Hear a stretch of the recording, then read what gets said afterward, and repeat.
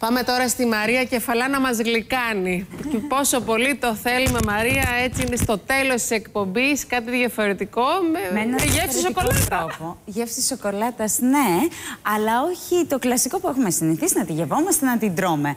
Θα σε πάω στο πιο ακριβό από όλες τις απόψεις, σοκολατένιο μπάνιο. Οι τιμές του παντού, στα νούμερά του είναι, είναι υπερβολικές. μπανιέρα από σοκολάτα δηλαδή. Είναι φτιαγμένο από 50 κιλά βέλγικη σοκολάτας. Ε, κοστίζει 133 χιλιάρικα δολάρια.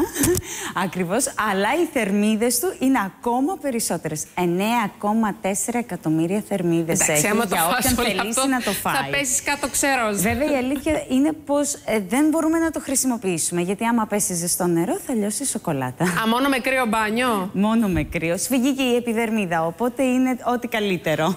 Οπότε είναι σαν έκθεμα περισσότερο αυτό. Είναι σαν έκθεμα, ναι. Αποφάσισε να το φτιάξει, να σου πω, ο Ιαν Μόνκ ε, με τη βοήθεια ζαχαροπλαστών σε μια ιδέα που είχε για ένα γλυκό μπάνιο.